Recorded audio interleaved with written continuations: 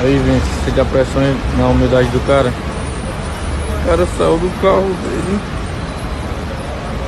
pra calibrar o pneu do coroa, mano.